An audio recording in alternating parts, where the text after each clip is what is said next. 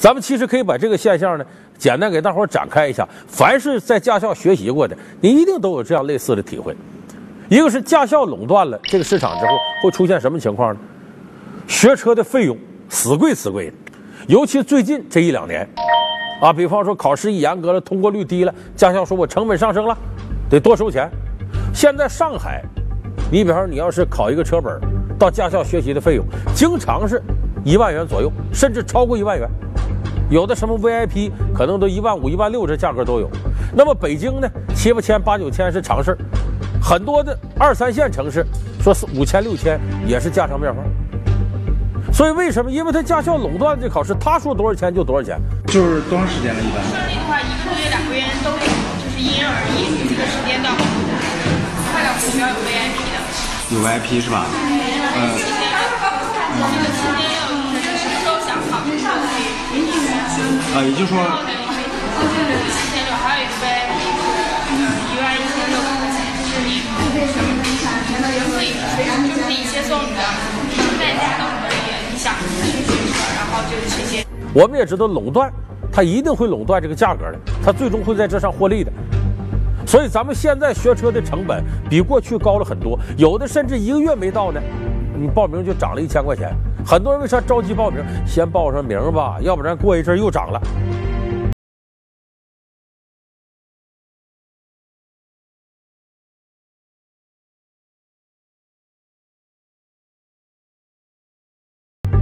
所以事实上，驾校垄断带来了不合理的价格，就它没有竞争，就这几家垄断了。你你学也得学，不学也得学。哎，所以说这第一点。第二个呢？就事实上滋生了驾校到车管所之间的这个腐败利益链条。你咱们有很多朋友都知道，你到驾校里去，说这个小的考试，你这就得给教练，啊，弄点好处。我也不知道是不是这么多，够不？你有多少？我我我我我我走了，我都行。你是不是真？行行，现在现现在马上说说六月六月以后，整整电话给我讲，六月之前我安排，我要找人安排了，行行吗？这就这就上一千，你看够不够？啊，行，我知道，我知道。嗯，是吧？再还有一包烟。两两这两周进来，小曼六月之前安排了，行吗？行行，就是说他现在是，我给你找人给你弄过就行了，咋开我给你弄过就行了，行吧？我帮你一下，价值困难数，别的我不我我就就肯定就肯定能搞好。啊，对，我肯定搞好，我我我我。当时累计你交了多少钱？就是额外学费之外的，两三千块钱，才七百块钱，考下来都花了一万四五。就是你报考是不是？我在教练那报名了，不给你报吗？给烟给钱了才给你预约考试。对。大家都想考好，都想考先考试，就是先安排谁啊，后安排谁啊？这就是里面就是有教练来自己安排，百分之九十人都交了。很少很少有人没交，对于这些事情，大家都心照不宣，默认了。你看，前不久在广东湛江审判的一个案子，就是湛江的几家车管所，在考驾照过程当中，两千零八年到二零一二年四年间，这个考试的三十九名考官总共收受了两千一百万人民币的贿赂，这是个非常惊人的数字。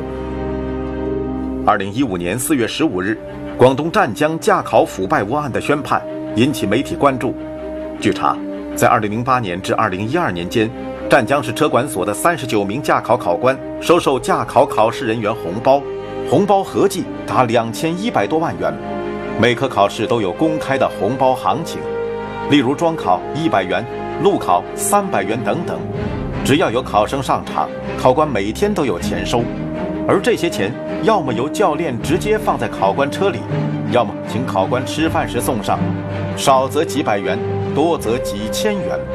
根据通过的人数，也按照这种潜规则的这个标准，教练跟跟在考官的车里面，或者是跟考官吃饭的时候，交给考官。咱们每一个在驾校学过车的朋友，你好好想想，你碰没碰到过这种现象？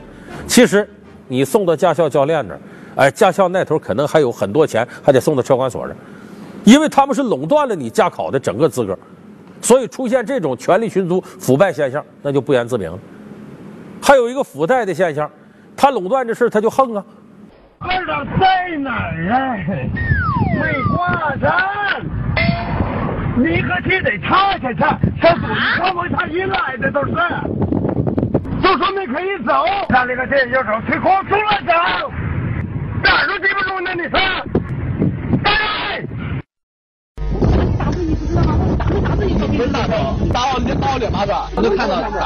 对。